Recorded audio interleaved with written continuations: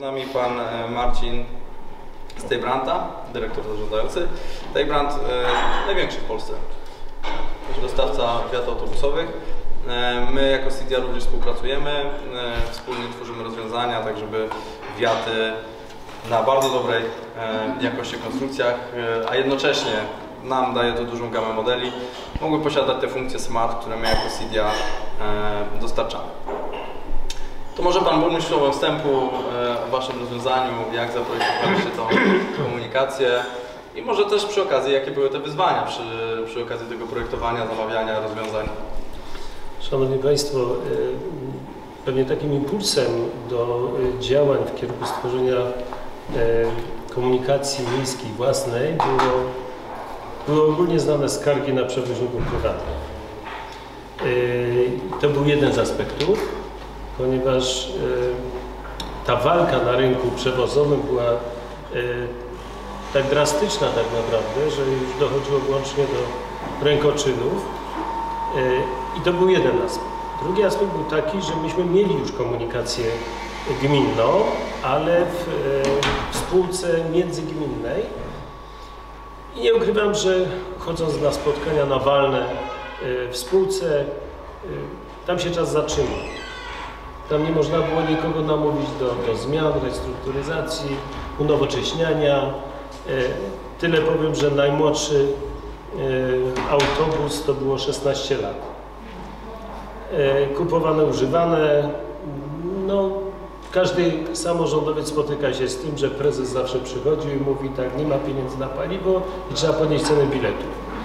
No, odniósł spadanie na prezesa tylko na, na samorząd, w związku z tym, kiedy pojawiła się szansa mm, na y, program, który dofinansował zakup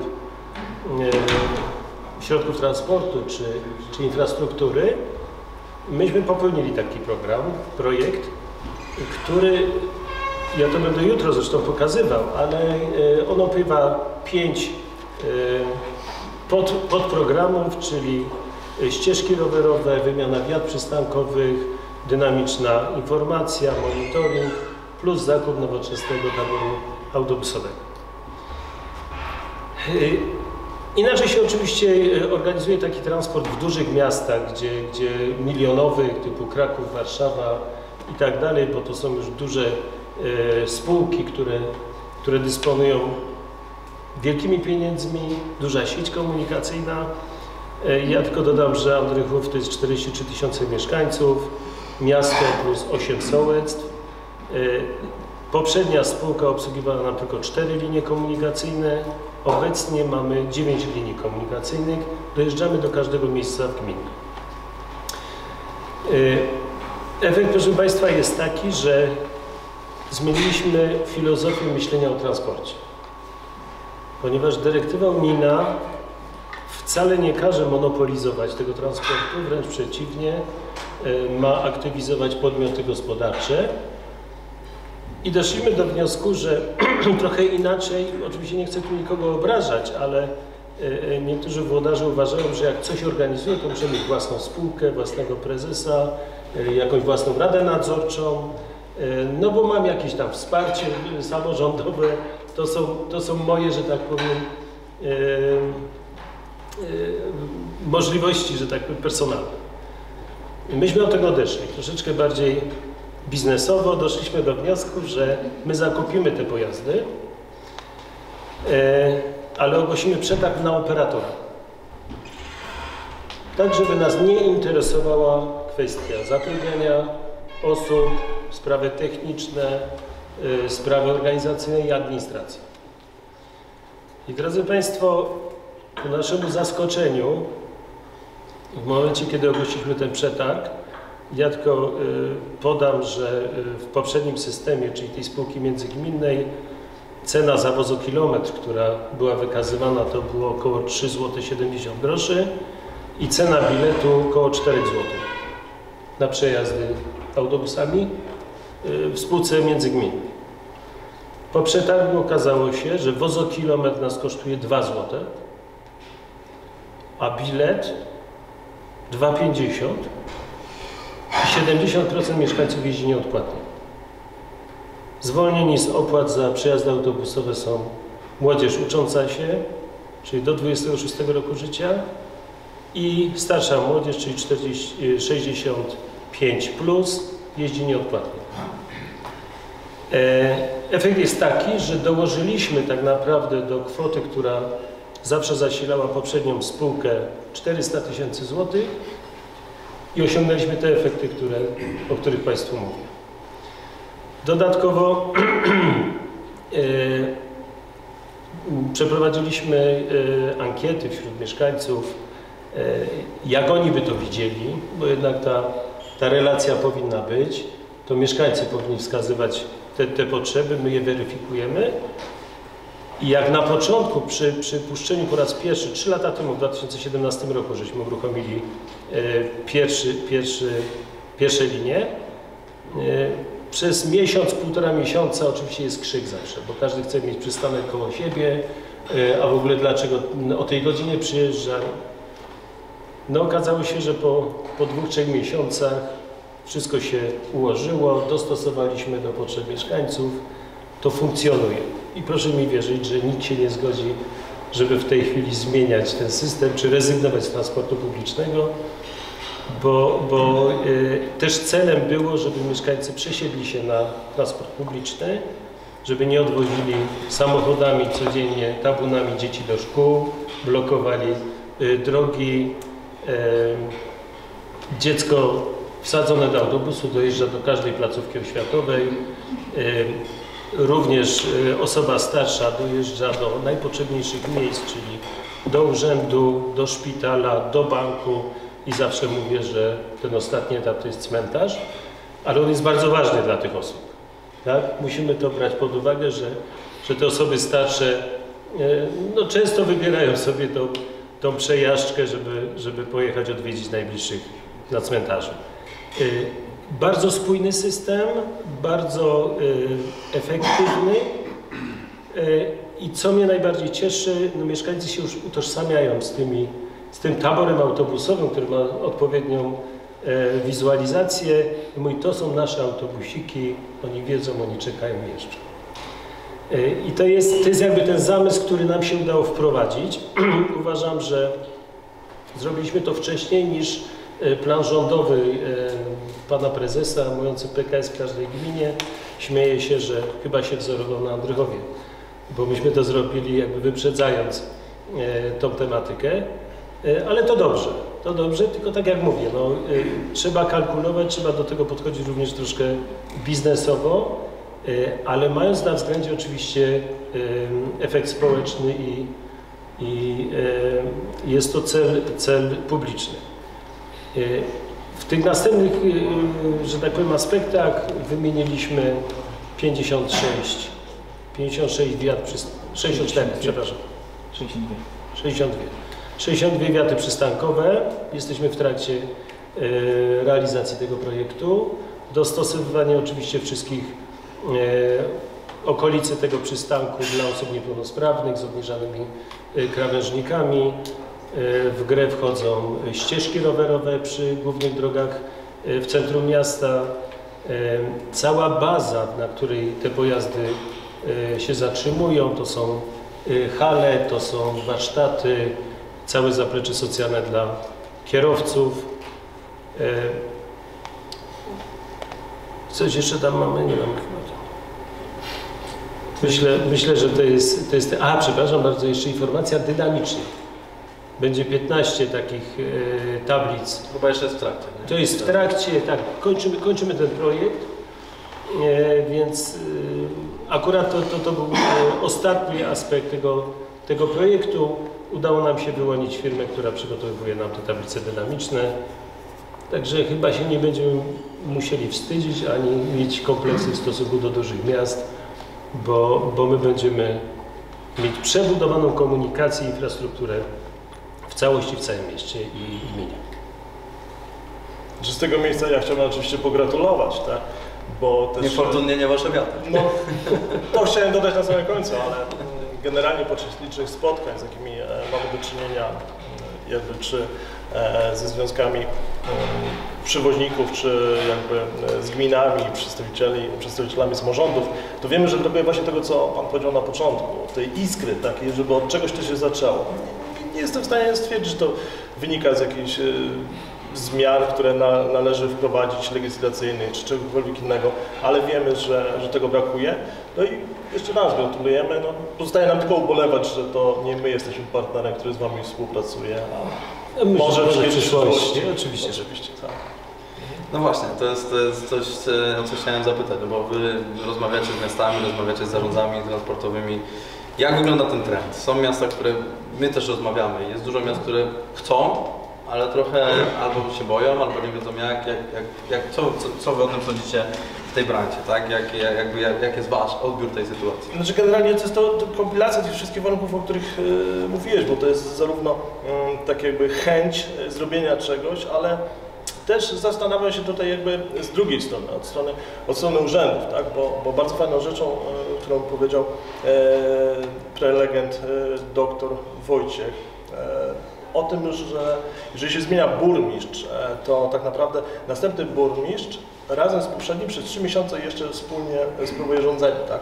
I myślę, że tutaj jest gdzieś taki jakiś, mm, żeby, żeby była spójność wizji, tak? Spójność, żeby był jakiś zaprezentowany plan, tak jakby plan przyszłości, taka droga, mapa, e, która tak naprawdę pokaże, że załóżmy e, dążymy w kierunku, żeby wprowadzić jak najwięcej e, elektromobilności, tak? Czy, czy, czy dążymy do, w kierunku takim, żeby gdzieś to wszystko było spójne, jak najbardziej przyjazne dla, dla środowiska, jak najbardziej przyjazne dla, dla ludzi, tak, żebyśmy myśleli o tym właśnie Smart City, tak, to, czyli, czyli temat jakby e, konferencji, więc myślę, że to jest jakby, tutaj to wszystko musiałoby być mm, gdzieś wspólnie, e, wspólnie jakiś taki zalążek i jakby prezentacja tego kierunku.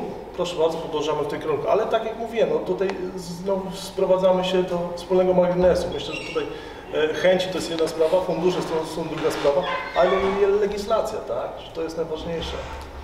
Znaczy to nie jest tak trochę, Panie Burmistrzu, że no to jest taki projekt duży, którego y, można się bać z punktu widzenia tego, że brak jest wiedzy, jak to zrobić, jak napisać? Na pewno jest to jeden z elementów, że niektóre samorządy od tego odchodzą. Po pierwsze, że finanse to jest, to jest rzecz, która jeśli nie dostaniemy e, pomocy zewnętrznej na zakup środków transportu, na, na te nasze pomysły, to żaden samorząd tego sam nie udźwignie. E, A kolejna rzecz to jest kwestia pracowników. To nie ma co ukrywać, że fachowcy, dobrzy fachowcy znajdują zatrudnienie na rynku pracy dobrze płatne. W samorządach się dobrze nie płaci. Czyli w firmach prywatnych. Firmy prywatne mają fachowców. No, oczywiście byłem Boże, żeby to nie zabrzmiało, że, że my ich nie mamy, ale e, system płacy w, tych, w, tych, e, w administracji powinien się diametralnie zmienić. Ja już nie mówię o pensji burmistrza, która została obniżona za dobre działanie dwa lata temu.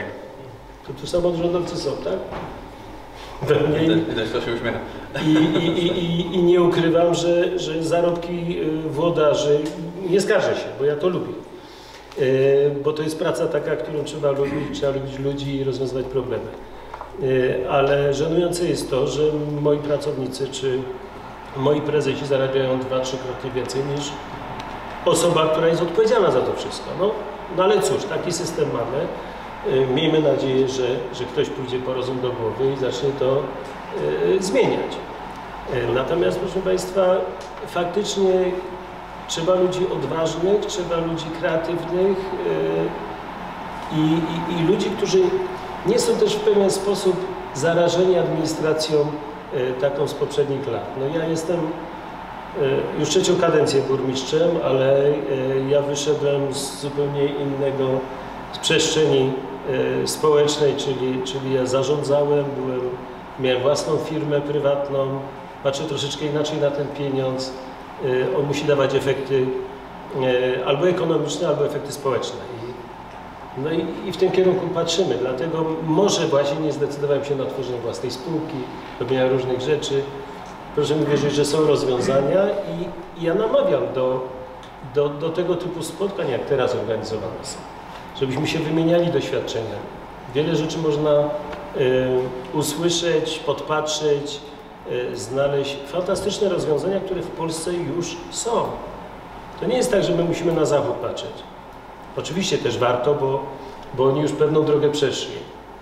Ale, ale w Polsce są fantastyczni samorządowcy, którzy wprowadzają Smart City. Ja jeżdżę już na te konferencje od wielu, wielu lat. My się spotykamy tak naprawdę w wielu miejscach e, i podglądamy się.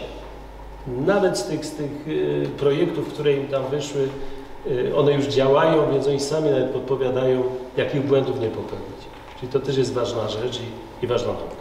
No, nam jako organizatorowi też w dużej mierze chodzi o ten transfer wiedzy, tak, żeby no, po to chcemy pokazywać te success story, żeby też inni samorządowcy, którzy chcą się dowiedzieć jak to zrobić, wiedzieli też kogo zapytać, no, bo jakby ja też mam świadomość tego, że mm, napisanie takiego całego projektu, jak u Was, który jest tak bardzo złożony, że są i wiaty, i pojazdy, oczywiście pojazdach komputery, e, informacja pasażerska, to się wiąże oczywiście z GPS-em, pociągnięcie sieci po całym Liczenie potoków pasażerskich. Liczenie potoków, tak, Kamery, e, rozplanowanie, e, rozplanowanie przecież przystanków, tak jak burmistrz sam mówi, że oczywiście każdy mieszkaniec chciałby mieć pod blokiem, no ale to przecież tak nie można. To jest e, no, potężny kawał wiedzy, którą, którą trzeba mieć po stronie fachowców, z którymi trzeba współpracować. I teraz nasuwa mi się pytanie, e, Marcin, czy Wy jak rozmawiacie z miastami, to też tego typu e, współpraca jest, czyli taka współpraca ekspercka, e, wsparcie w tym, jak zaprojektować, co powinny mieć wiaty, w zależności od tego, jakie to jest miasto, jakiej wielkości, jak duże powinny być te wiaty, czy dwu, czy cztero modułowe, jak, w jaki sposób ta współpraca wygląda, jeśli miasto do nas przychodzi, przykładowo chce stworzyć system albo wymienić wiaty, z czego może od takich partnerów technologicznych, e, biznesowych, jak e, Wy oczekiwać? Znaczy generalnie mm, jesteśmy w stanie wesprzeć jakby e, miasta, urzędników, którzy przyjdą do nas z zapytaniami. Szeroko, szerokim spektrum, ponieważ jesteśmy w stanie zaprojektować, przedstawić e, wyrób, jak będzie wyglądał w przyszłości, bo e, nawet jesteśmy w stanie przedstawić to nie w formie prezentacji czy czegokolwiek innego, tak? E, Znamy doskonale warunki techniczne miast, więc wiemy na co możemy sobie pozwolić, tak? Dodatkowo jeżeli chodzi o przygotowanie projektów również. I teraz nasuwa mi się znowu też takie pytanie w tym momencie, ponieważ ja też zauważyliśmy, że jakby oczywiście urzędnicy chcieliby, tak, ale im brakuje może takiej jakby specjalistycznej wiedzy, którą my znowu e, posiadamy, tak? I teraz e, pytanie jest takie, w jaki sposób tutaj stworzyć, bo rozmawiamy, prawda? Rozmawiamy z urzędami, z urzędnikami, tak? Oni na początku być może nie mają jakiegoś takiego zaufania, to zaufanie powoli się buduje, e, więc jakby szczegółowe pytania dopiero następują po jakimś czasie, tak? Ale Tutaj chodzi mi generalnie o to, e, co takiego można zrobić, żeby urzędnicy mogli przychodzić i po prostu wprost pytać e, i żeby się nie zastanawiali, czy przypadkiem e, to jest ok, że przyjdzie, zapyta, czy, czy, czy będzie to jakby społeczny odbiór w porządku, że przychodzi urzędnik do prywatnej firmy i zadaje takie pytania. Więc to jest dla mnie zagadka w tym momencie, tak? I wiem, że jeżeli się zbliżymy z urzędnikami, zapoznamy, tak, wiemy, co kto reprezentuje, e, jaką jest działką, e, jakby, jaka działka stoi za nim, to wtedy okej, ta współpraca zaczyna nabierać w jakiś sposób tutaj mm, kolorytu, tak? Jeśli mogę w tym aspekcie powiedzieć, myślę, że to jest pewien syndrom też e, życia samorządowego. Ktoś kiedyś mówił, że e, samorząd i prywatne firmy powinny raczej trzymać się z daleka od siebie. I, I stworzono pewien strach przed kontaktami, Tak. przed nawet pozyskiwaniem wiedzy. No, no, tak jak Pan powiedział, urzędnik nie ma wiedzy. No Także tam musimy posiłkować fachowcami. Myśmy zlecali duży, różne opracowania. Proszę mi wierzyć, że e, chcąc stworzyć własną komunikację, to to nie było na zasadzie widzi mi się burmistrza, że ja chcę być przegubowcem w danym mieście, bo trzeba było dostosować parametry tego pojazdu do warunków obowiązujących. Jeżeli ja mam teren górzysty, wąskie drogi, to przegubowiec mi jest niepotrzebny. Jeżeli mam góry, to mi elektryczny autobus nie spełni wymagań, ponieważ on, on nie udźwignie tej ilości przejazdów. Poza tym musieliśmy zdiagnozować, jaka, jaki jest potok pasażerski, który będziemy przewozić w danym momencie. I tu był największy problem, bo proszę Państwa tak, firma prywatna tego nie powie, no bo umówmy się, no przecież to nie jest tajemnicą, że kierowcy część y, biletów wydają, część nie wydają. Nawet czasem właściciel nie wie, ile przewozi tych pasażerów. Y, Kolejna rzecz, nasza spółka międzygminna, no, jeżeli podawała nam dane, no to ona później nie mogła innych danych nam przekazać, co się później zweryfikowało życie, że na liniach, które nasza spółka własna uważała, że są deficytowe, my w tej chwili zyski mamy. No, to są rzeczy, z którymi się borykaliśmy. Y, Trzeba na pewno dużo odwagi i tu od razu mówię, że nie wiem, czy, czy, czy, czy w naszym kraju e, jest to powszechne, ale sukcesy kosztują. Jeżeli ktoś osiągnie sukces, to proszę mi wierzyć, e, zaraz zjawiają się kontrole. Ja już jestem po, po chyba 15 kontrolach, jeżeli chodzi o, o komunikację. E, Wcześniejszy projekt e, oświetlenia LEDowego, który wykonaliśmy zresztą na lampach Schroedera, bo tutaj widzę, że, że, że, że się e, reklamują Państwo. Tak, tak, są Z informacją Enis firma nam robiła system sterowania i też e, mamy 70% oszczędności na oświetleniu LEDowym. Nie mamy ani jednej lampy sodowej. E, Proszę Państwa, 11 kontroli, w tym dwa razy CBA i CBS.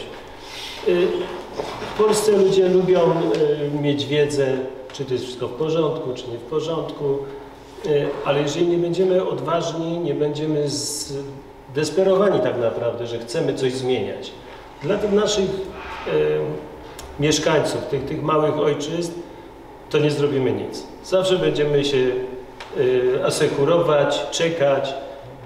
Może czasem lepiej nic nie robić, bo po co się mam tłumaczyć.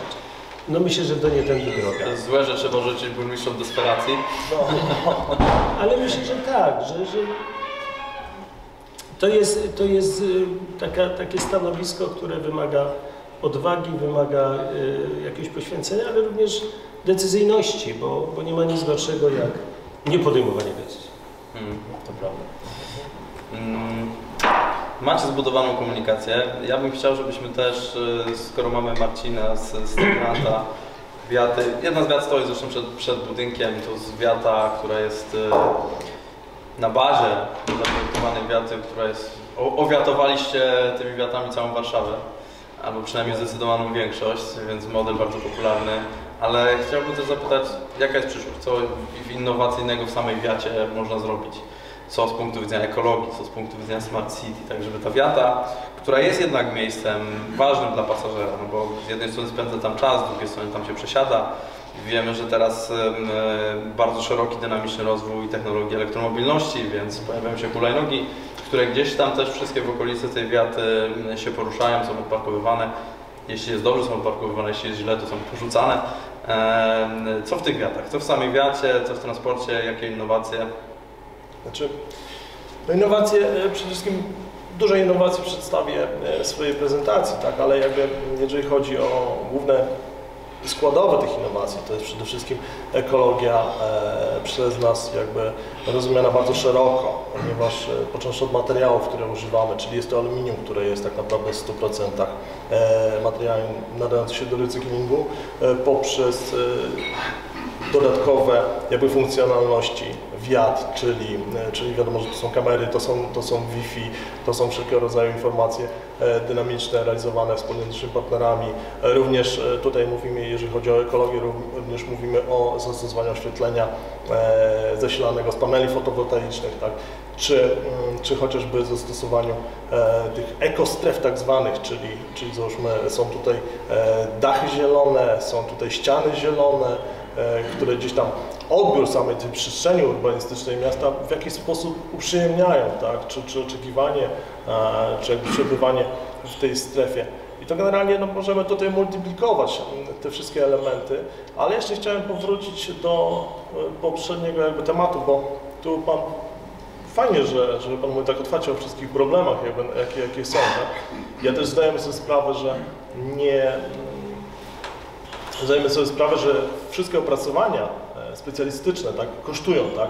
No my możemy tak naprawdę ze swojej strony obiecać, że jesteśmy w stanie pomóc, podpowiedzieć różne rzeczy, e, czy w mniej, czy bardziej szczegółowy sposób, ale to też jakby e, zależy z drugiej strony od tego kontaktu, więc tutaj jakby spinając ten cały temat, to e, jakie funkcjonalności życzą sobie włodarze miast, jakie funkcjonalności życzą sobie urzędnicy. I wtedy my jesteśmy w stanie dobrać odpowiednie produkty. Jeżeli, jeżeli mamy, jeżeli nie mamy, to poszukamy i znajdziemy. Tak to, generalnie, tak to generalnie wygląda. Tak funkcjonujemy, tak staramy się, żeby to wyglądało w naszej jakby filozofii pracy i działania. Tak?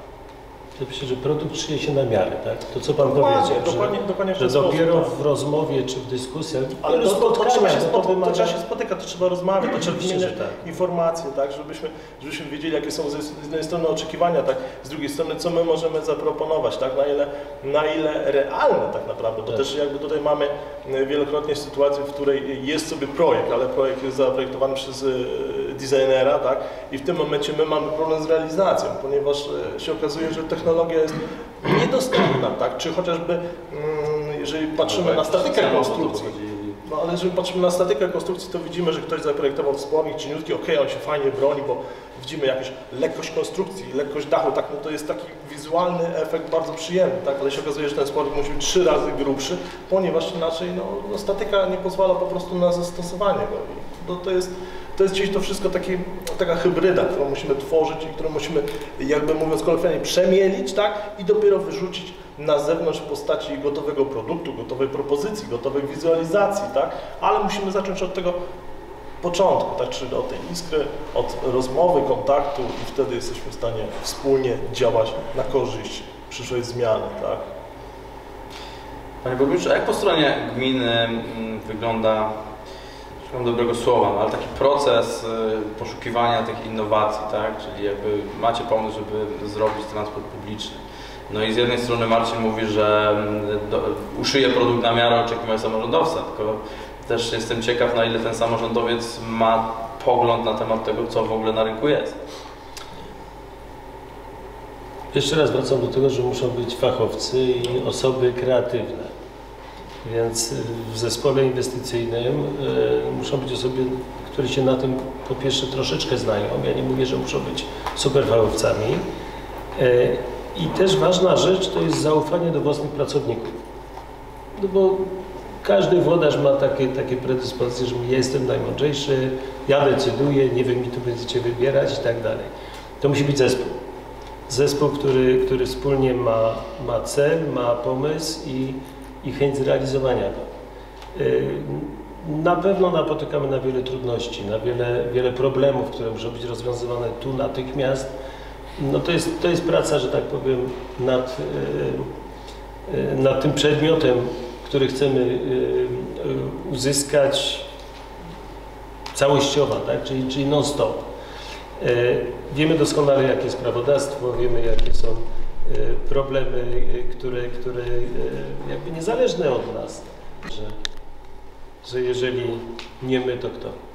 No tu też ja chciałbym zdefiniować jedną rzecz, a mianowicie już kilkakrotnie spotkaliśmy się e, właśnie w, urzędach jakby mm, z taką dysfunkcją, nie wiem jak to ładnie nazwać, ale e, chodzi generalnie o to, że jest, jest chęć, jest ta iskra, prawda, zapaliliśmy się, coś zaczynamy wspólnie, e, wspólnie działać i w pewnym momencie, nie wiem z czego to wynika, tak, ale są zmiany strukturalne, wewnętrzne, ktoś gdzieś się przenosi, tak, i nagle się okazuje, że ta działka już nie jest jego, tak, przychodzi następna osoba, nawet z sąsiedniego biurka, tak, ale to już nie jest ta osoba, to już nie ma tego, tego takiego zapału, to już nie ma tej takiej chęci wdrożeń, chęci jakby pozyskania e, czegoś nowego jakby tutaj dla przestrzeni publicznej i to jest gdzieś, no nie do końca jestem w stanie to zrozumieć, tak, ale no, Okej, był fachowiec, tak? To, to, to, co- to, co Pan powiedział, no był fachowiec, był ktoś, kto, kto chciał, e, kto się chciał zaangażować, kto chciał stworzyć, kto, kto miał wizję i tak dalej, podpisać się nawet po czymś, okej, wszystko proszę bardzo, ale i w pewnym momencie to się zmieniło. No i tutaj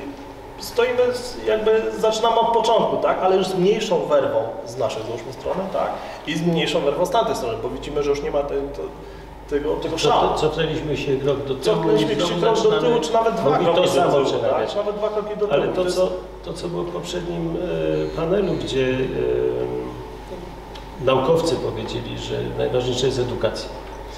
E, może się edukować burmistrz, mogą się edukować e, pracownicy, ale tak naprawdę powinniśmy wiedzieć, o czym mówimy. Nie ma co ukrywać, że, że możemy mówić o tych samych sprawach, a nigdy się nie porozumieć. Tak właśnie. E, Więc nie tylko e, włodarze powinni się edukować, ale trzeba jednak wysyłać swoich pracowników na szkolenia, przywozić ich właśnie na tego typu pu- konferencje, bo Smart City, jak się powie tak powszechnie, że tak powiem komuś, to nie do końca wie o co chodzi. To jest często fraza wytrych, więc To jest jakaś tam fraza, która gdzieś jest w obiegu, ale, ale gdybyśmy mieli sprecyzować, co ona oznacza, e, mało kto by tak naprawdę odpowiedział na ten temat.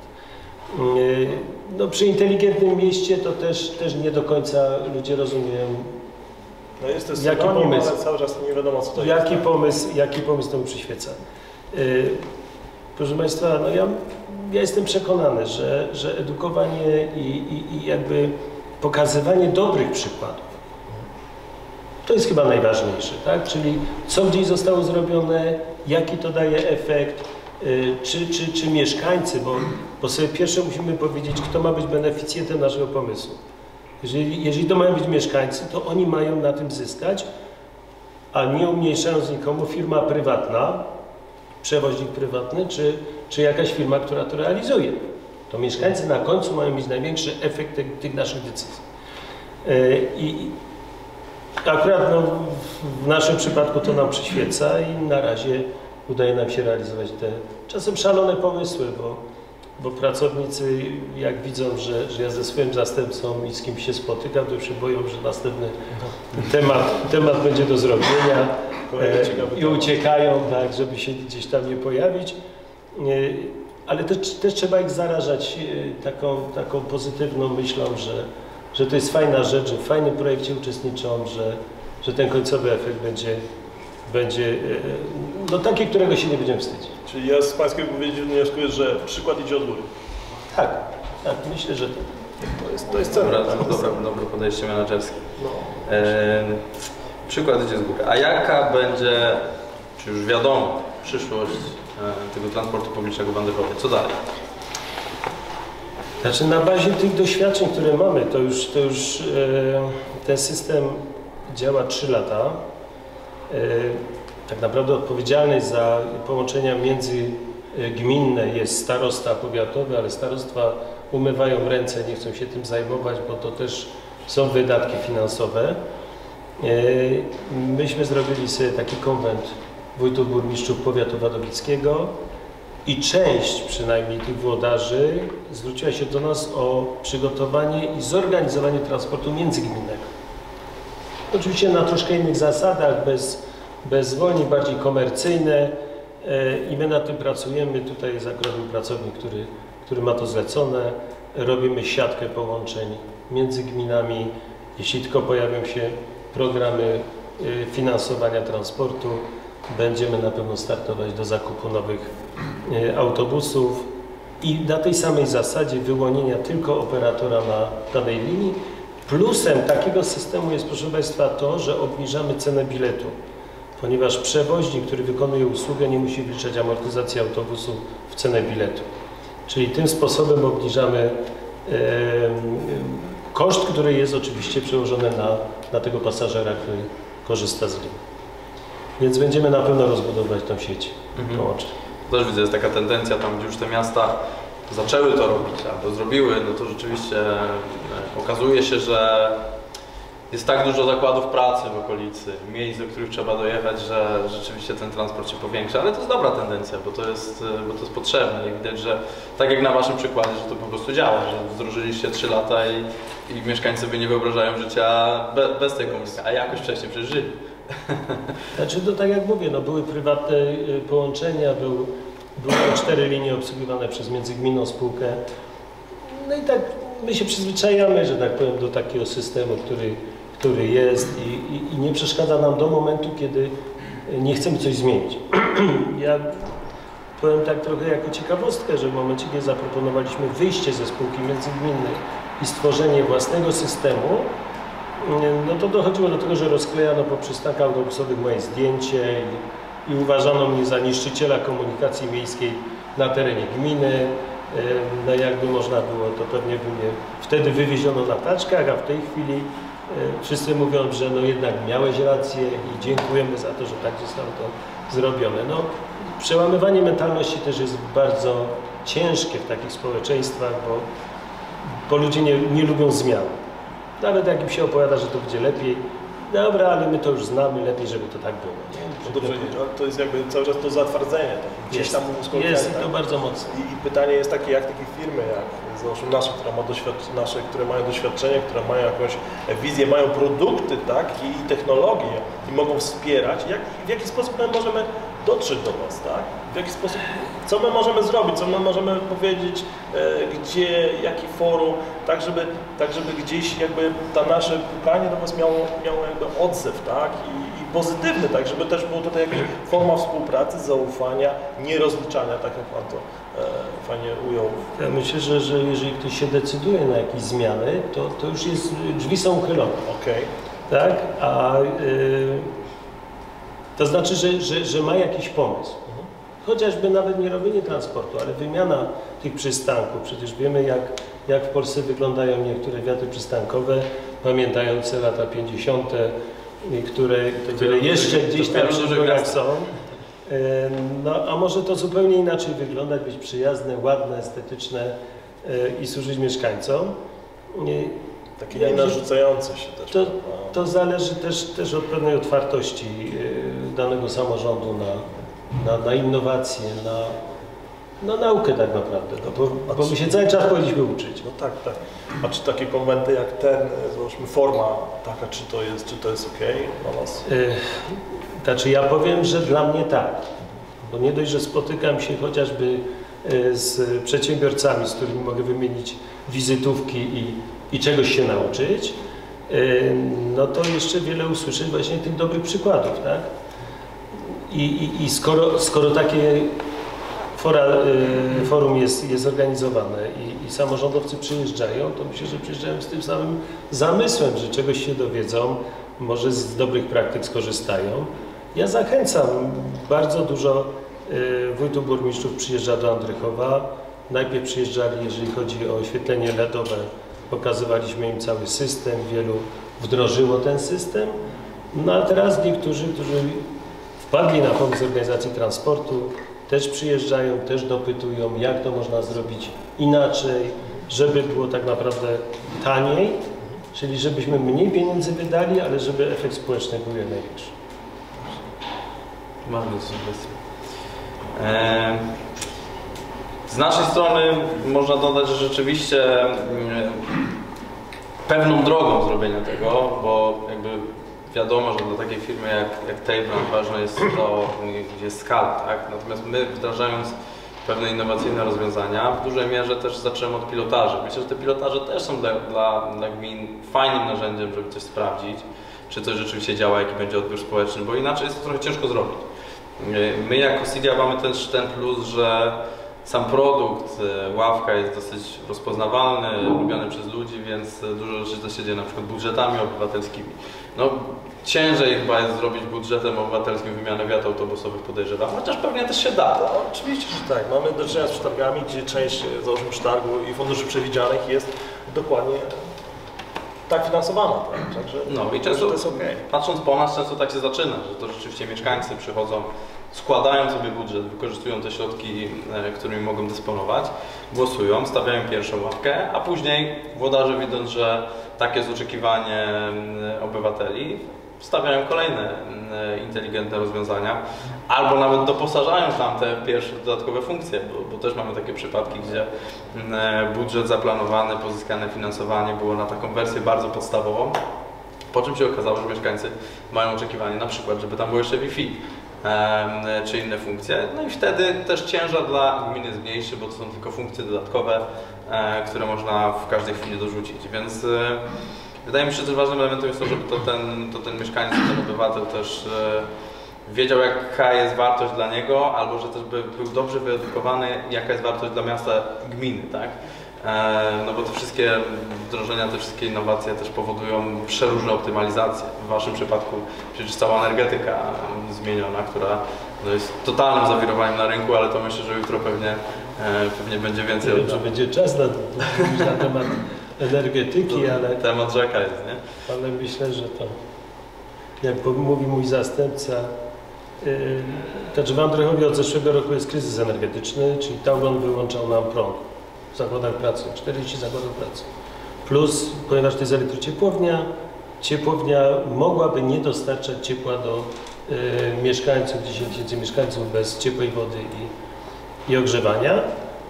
Yy, Ja nie będę mówił o szczegółach, bo to w tej chwili funkcjonuje, już jest spółka gminna, która to prowadzi, yy, a to była prywatna elektrociepłownia.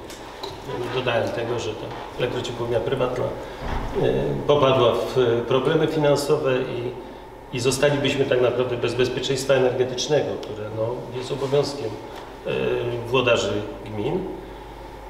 Zrobiliśmy to, działamy, nasza spółka ma zyski z tego tytułu i, i tak naprawdę czasem kryzys, czy, czy jakaś taka sytuacja niekomfortowa, bym powiedział, dla, dla miasta powoduje, że pokazują się inne szanse, inne pomysły na to, jak przekuć yy, coś yy, niezbyt dobrego, bym powiedział, kryzysowego w sukces. Ponieważ w tej chwili zastanawiamy się nad bardzo mocnym działaniem e, szeroko rozumianego bezpieczeństwa energetycznego, włącznie z instalacją mineralizacji śmieci, e, turbinami gazowymi, e, OZE szeroko rozumianymi, czyli, czyli instalacjami fotowoltaicznymi, ponieważ szczęście w tym wszystkim, że elektrociepłownia miała problemy, to jest takie, że do elektrociepłowni należą sieci przesyłowe, czyli jesteśmy tak zwanym e, operatorem przesyłu e, energii elektrycznej i Tauron chcąc przesłać nawet nam do zakładów pracy prąd musi nam zapłacić. Także, także mówię, że w tej tragicznej sytuacji pojawiła się e, e, światełko nadziei i, i teraz to przekuwamy jakby w inne myślenie na temat tej energii i energetyki w ogóle w gminie. Tak, no to właśnie to też dobrze, bo odpowiednia umiejętność też w obrębie gminy chwalenia się tymi sukcesami, tak żeby mieszkańcy też o tych rzeczach wiedzieli, no bo często jest tak, że te innowacje są wdrażane na tle po cichu, e, oczywiście dają swoje efekty, e, natomiast żeby mieszkańcy też byli bardziej otwarci na te inwestycje i na te innowacje, to też one muszą być odpowiednio rozgłośnione, e, żeby później to po prostu kolejne rzeczy, kolejne inwestycje przychodziły e, trochę łatwiej. E, Myślę, że jesteśmy bardzo fajnie w czasie. Zaraz przekażemy głos, e, głos Marcinowi, żeby zrobił prezentację e, wiat i rozwiązań inteligentnych, które oferuje firma Tejbrand. E, No niestety nie w Andrychowie, nie tym razem przynajmniej, ale, Jest najlepsze, to jest tylko 62 wiaty, a tych wiat jest ale po to się też spotykamy, żeby właśnie wymienić się tymi doświadczeniami, zobaczyć co, co możemy zrobić za żeby kolejne lata. sobie dalej. Dzięki, dzięki panowie za, Dziękuję za bardzo. tę dyskusję. Można mieć pytanie? Oczywiście, że tak. Do pana burmistrza, powiem, Tomasz Mierzwa do swojego Jesteśmy miło. gdzieś tam krok, y, duży krok przed tym, co w Andrychowie jest. I odnośnie samego przygotowania, to znaczy że zrobiliście, rozumiem, opracowanie, audyty odnośnie tras i z tego wyszło, ile ludzi przewozicie, z tego wyszło, ile, jakie autobusy. Tak. Y, kupiliście autobusy i dopiero y, przetarg na operatora. Tak, tak rozumiem, Znaczy, tak było. nawet, nawet to było w, w tym samym czasie. A, a, Myśmy realizowali już zamówienie, ponieważ one były tak naprawdę budowane dla nas te autobusy, e, ponieważ myśmy weszli w segment mini, czyli e, mamy e, 14 miejsc siedzących, w ogóle 37 e, miejsc w autobusie do przewożenia pasażerów.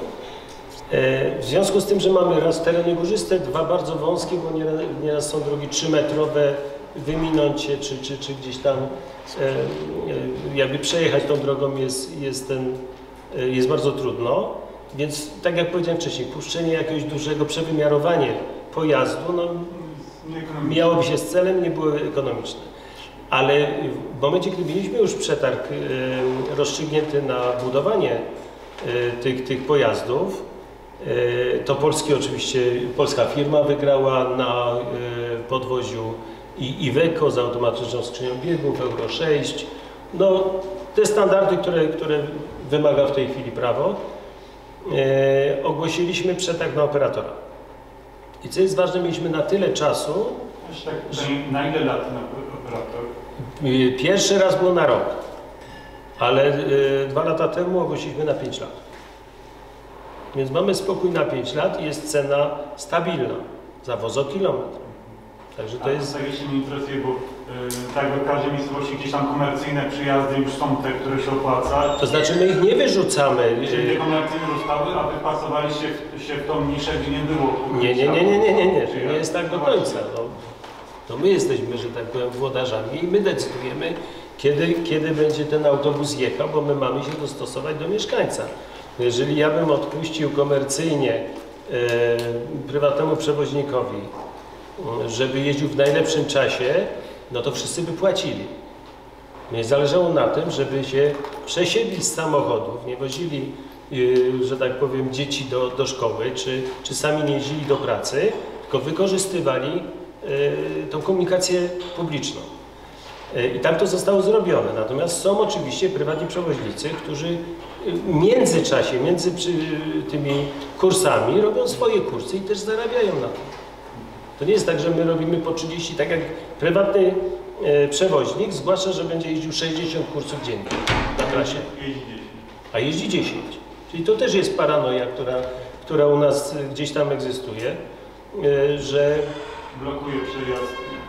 czy jeździ 5 minut przed, e, przed autobusem naszej komunikacji, żeby zabrać klientów, żeby mu zapłacili. A ostatnie pytanie, bo Pan coś wspomniał, jakby źle zrozumiałem. Autobusy szkolne zostały dalej jak były? Czy, czy... My nie mamy szkolnych autobusów, ponieważ tak zrobiliśmy siat, siatkę komunikacyjną, że każde dziecko z danego miejsca może dojechać do swojej szkoły. Ale wcześniej były szkolne autobusy, tak? Nie, Aha, też nie było. też nie. Tylko jedno, że tak powiem, potwierdzę, co Pan Burmistrz mówił o oświetleniu. W Busku też zrobiliśmy wymianę całego oświetlenia i po zakończeniu zadania też miałem kilka ła- miłych rozmów. Także to jest jakby sam, tak? Znaczy witam w klubie, tak? Dziękuję. No, ale możemy sobie porozmawiać później w przerwie, to. Super, cieszę się, cieszę się, że się dyskusja wywiązała. Tak jak mówię, że mamy na sali włodarzy, którzy, którzy mają jakieś plany związane właśnie z transportem, więc i to jest też to, co mówiliśmy, że ważne jest to, żeby te, te, te success story e, pokazywać, że, że się da. Dzięki jeszcze raz panowie. Dziękujemy.